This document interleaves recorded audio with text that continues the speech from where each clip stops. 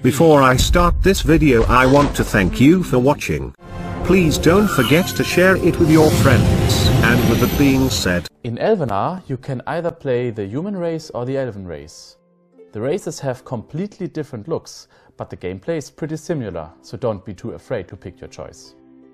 At the beginning, buildings are constructed in no time, but they are also rather simple and basic. Over time, by unlocking new technologies, you can upgrade your buildings step by step to become more advanced and sophisticated. If you need a break from building your city, go onto the world map to visit other players, scout your environment and take a look into all kinds of mysterious provinces filled with friends and foes, challenges and rewards. Everything you do on the world map will help your town to develop, to grow and to become even more beautiful. The world of Elvenar inhabits two different races. The elves are a very sophisticated folk They live in harmony with nature rather than superseding it. On the other hand, we've got the humans. The human buildings have a strong European medieval fantasy look.